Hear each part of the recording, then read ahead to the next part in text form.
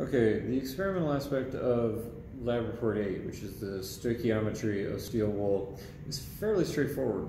We're going to take this lightly bundled um, steel fiber that we call steel wool, and this is what's called soft iron. Uh, in other words, there's not a tremendous amount of carbon in it, so it should go pretty quickly. And we're going to light it. Now to light it, we can use the conductance of it.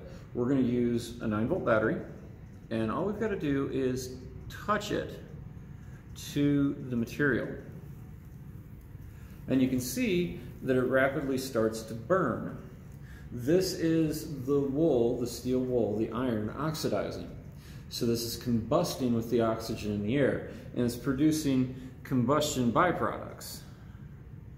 Now we want to keep touching it to make sure that we get all of it burnt so that everything gets burnt up. But we also want to keep everything in there, right? We want to keep everything in the setup because our deal here is we want to tell the difference in mass between the initial steel wool and this oxidized product because that's going to tell us how much oxygen's been added to the system.